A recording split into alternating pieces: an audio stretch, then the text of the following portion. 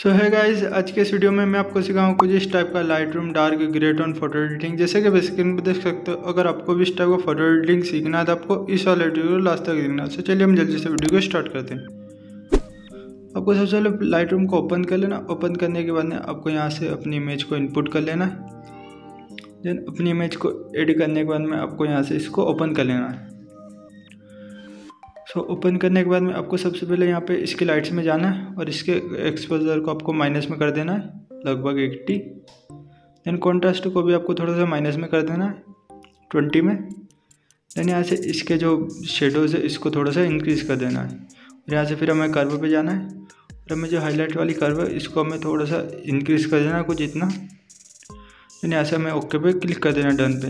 Then यहाँ से फिर हमें इसके कलर्स में जाना है। तो यहाँ से इसके टेम्परेचर को हमें थोड़ा सा इंक्रीज़ कर लेना है। देन टिंट को भी थोड़ा सा इंक्रीज़ और यहाँ से इसकी जो वाइब्रेंस है, इसको आपको माइनस कर देना है माइनस में टेन देन यहाँ से इसकी सेचुरेशन है, इसको भी थोड़ा सा आपको इंक्रीज रख लेना है, लगभग प्लस में ट्वेंटी देन फिर आपको मिक्स टूल पर क्लिक कर देना है ऊपर। और यहाँ से ऑरेंज टोन में जाना और सेचुरेशन को आपको प्लस में टेन रखना है।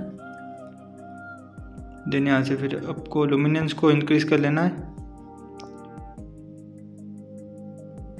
देन येलो टोन में जाना है आपको। और इस सेचुरेशन को माइनस में हंड्रेड देन यहाँ से इसके लुमिनेंस को आपको प्लस में थर्टी रख लेना है। देन यहाँ से ग्रीन टोन में जाना है। और यू को माइनस में हंड्रेड सेचुरेशन को भी आपको माइनस में हंड्रेड देन लुमिनेंस को आपको प्लस में थर्टी रखना है। देन फिर हमें यहाँ पे डार्क ब्लू में चल जाना है। और इसकी भी सेचुरेशन को माइनस में हंड्रेड और लुमिनेंस को आपको प्लस में थर्टी रख लेना है। देन फिर हमें यहाँ से कर देना है डन पे क्लिक देन हमें फिर यहाँ पे कलर ग्रेडिंग पे क्लिक कर देना है और जो इसकी शेडोज़ की यू है, इसको आपको इंक्रीज़ करना है। तो इसकी शेडोज़ की यू को आपको रख लेना है लगभग two forty four then saturation को भी आपको इंक्रीज़ कर देना है ट्वेंटी में।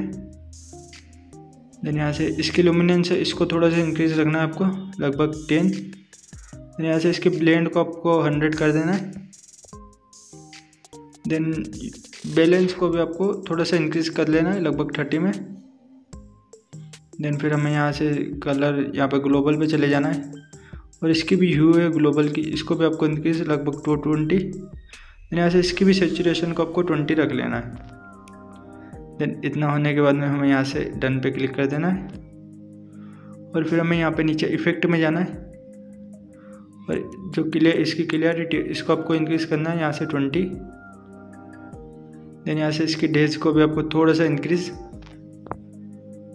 कुछ इतना। देन यहाँ से इसके विगनेट को आपको माइनस में एट्टी करना है। देन फिर हमें यहाँ पे इसके मिड पॉइंट में कुछ नहीं करना फिदर को इंक्रीज कर देना है। और यहाँ से फिर हमें नीचे हाइलाइट्स का ऑप्शन दिख रहा है, इसको भी थोड़ा सा आपको इंक्रीज कर देना है, लगभग थर्टी में। देन फिर हमें डिटेल्स वाले ऑप्शन पे क्लिक कर देना है। और यहाँ से हमें डिटेल्स की शार्पनिंग को हमें इंक्रीज़ कर लेना है, जिससे हमारे फ़ोटो को शार्पनिंग बिल्कुल इंक्रीज़ हो जाए। देन नॉइस रिडक्शन को भी हमें थोड़ा सा इंक्रीज़ कर लेना है। देन कलर नॉइस को भी हमें इंक्रीज़ कर देना है नीचे जाके। फिफ्टीन में। सो यहाँ से आपको फ़ोटो बिल्कुल रेडी हो चुका है। सो शेयर वाले ऑप्शन पे जाके आपको इसको कर लेना है सेव टू डिवाइस में save so I hope guys आपको वीडियो काफ़ी ईजी लगा होगा। सो मिलते हैं ऐसे ही किसी एडिटिंग टॉपिक पर। तब तक के लिए बाय सी यू सून